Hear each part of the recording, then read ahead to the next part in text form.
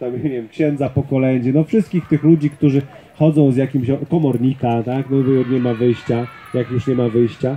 E, I salon to jest takie miejsce, gdzie tam się siedzi przy herbacie i słonych paluszkach i gdzie oni oceniają, czy tego człowieka, który przyszedł, można wpuścić y, głębiej do domu i jeżeli zdecydują, że można, to go wtedy wpuszczają do kuchni, no i tam już czeka, tam już czeka, jakby powiedział Makłowicz, zmrożona substancja i jakieś przegryzki i jakieś dania nagotowane i, i rzeczywiście a propos tego, co mówisz, to ja ten test zazwyczaj zdawałem. Rzeczywiście, ja, ja takich zdanych testów w Rosji mam za sobą bardzo dużo. Zazwyczaj, jak mnie wpuszczali do salonu, to po jakiejś godzince już przechodziliśmy tam do tej zmrożonej substancji, ale wiem, że są ludzie, którym się to nie udawało. Wiem, że są ludzie, którzy się zatrzyma- zatrzymywali. Chcieli rozmawiać z Rosjanami, ale, ale prawie nigdy nie wychodzili poza ten salon. No Słuchaj, czyli ty w pracy pijesz.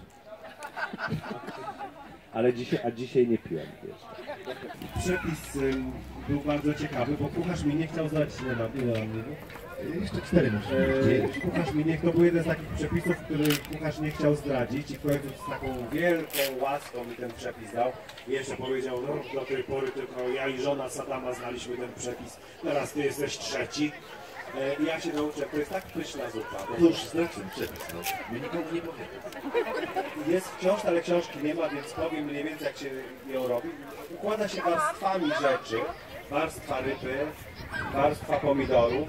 A jaka ryba, poczekaj? Ryba powinna być nie no, to powinien być taki karp iracki, ale musi być tłusta. No ja to robię na łososiu i wychodzi. A na halipucie też można. Myślę, że można spróbować, ale ja wolę łososia.